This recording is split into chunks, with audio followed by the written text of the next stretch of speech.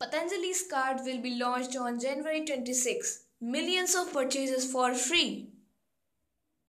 योग गुरु बाबा रामदेव पतंजलि के कारोबार को लगातार विस्तार दे रहे हैं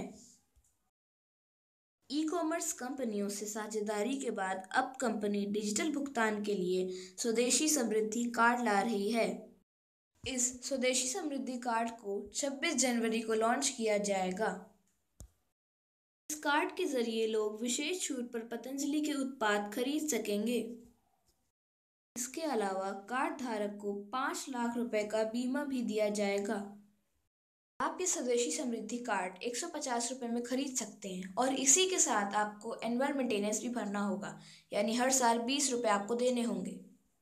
मेरा वीडियो देखने के लिए आपका धन्यवाद।